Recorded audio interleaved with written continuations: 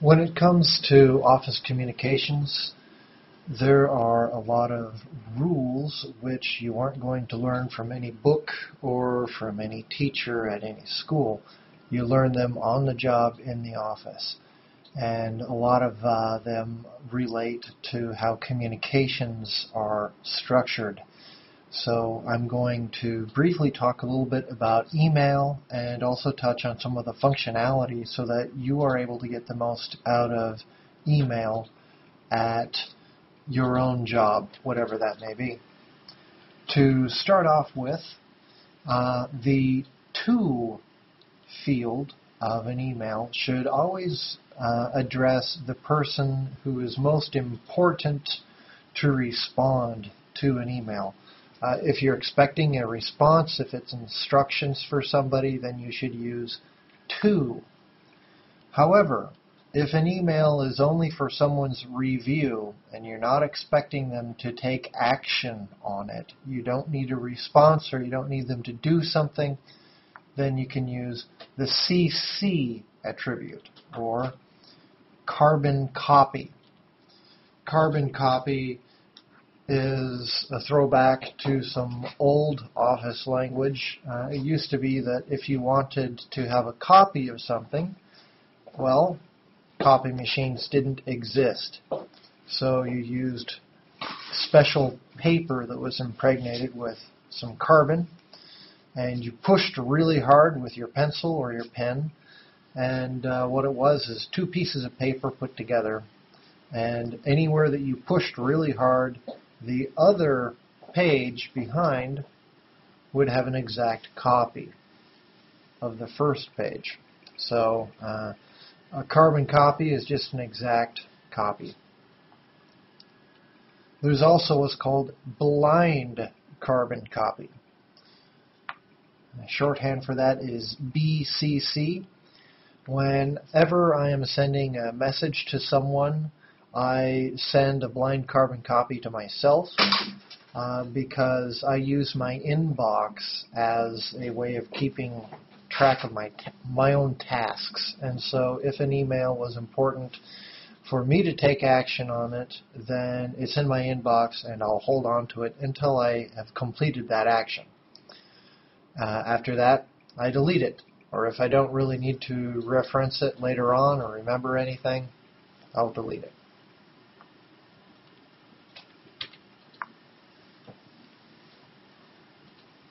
If you're using IMAP email, which is something that I discussed in a previous video, then you will have uh, multiple boxes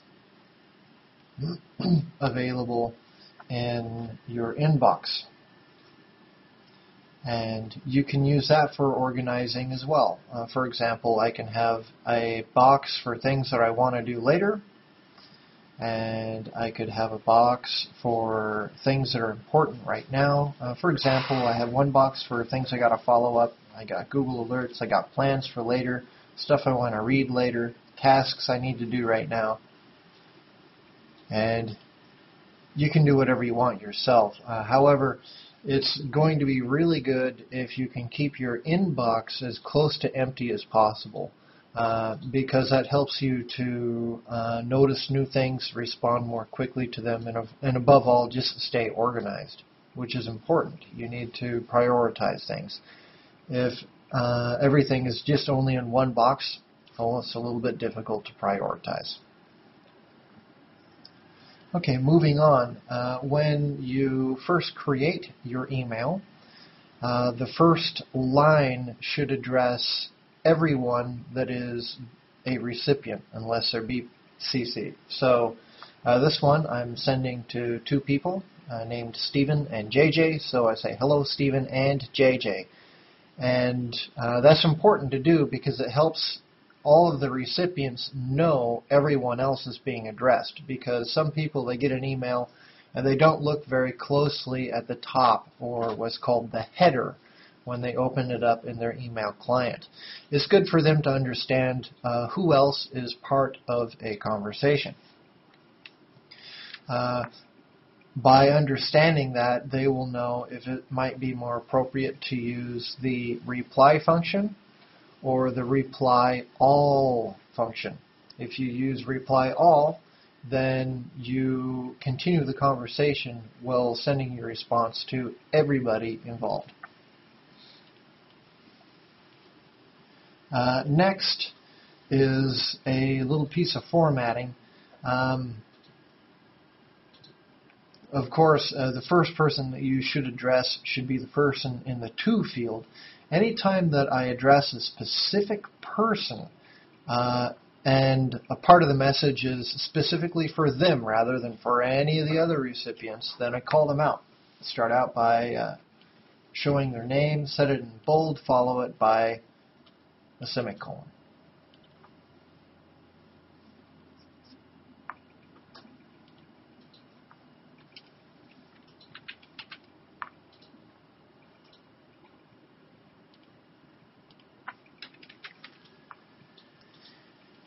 Here I've used some links. Uh, that's something that can be pretty useful to do. Uh, in most email clients, you can just highlight your text, can hold down Control, press L, and you can hyperlink your text. It's just like making a web page if you've ever done that before.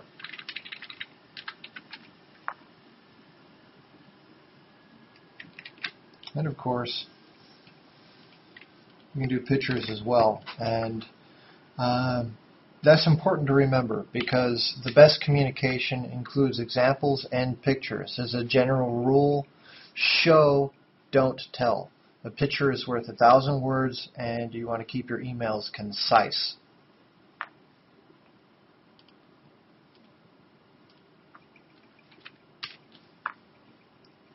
If you're ever sharing a file that's on a uh, local network, then give the full network path.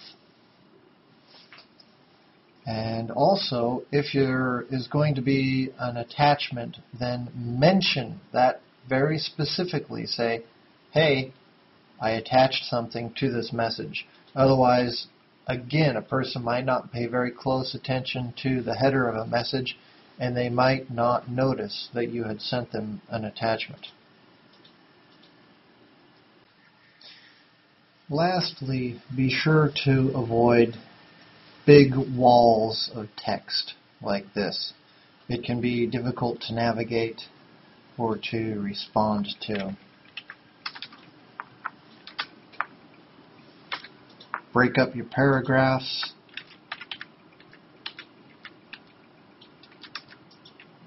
And don't be afraid to double or triple space between a change in ideas. Also, uh, supposing that, say, this part of the text is related to this, I can indent that. That makes it a little bit easier to see that all of this is an idea. It's related.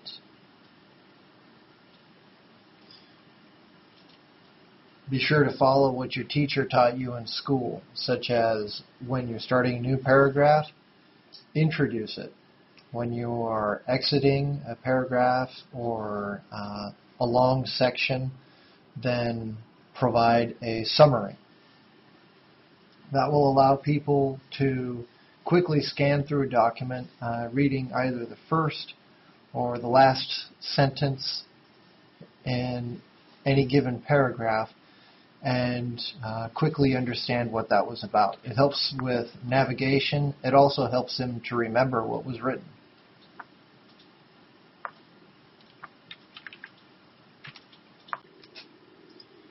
If you receive an email from someone and you are going to respond to it, your response should be at the top, not at the bottom.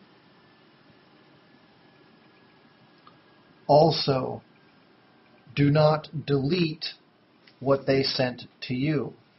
Uh, keep that. Quote it. Uh, as you uh, send a message back and forth, it's uh, very common that a person might delete old copies of the message. Uh, but later on, they might need or they might want to refer to what was said previously. And if you're deleting old uh, words or content out of the messages that you receive, it's going to be impossible for them to do that.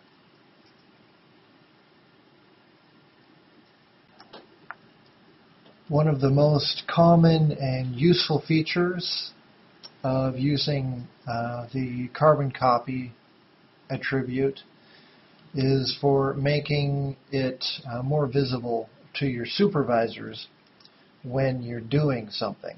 Uh, if someone needs to understand or if they benefit from uh, seeing that you're taking action on certain things or doing something that they asked you, uh, the CC allows them to see that. Um, not only that, but remember that email includes timestamps. So a person can see the date and the time. They're able to see that, yes, you are being productive around the office. Uh, you're handling communications and uh, reporting on tasks, whatever.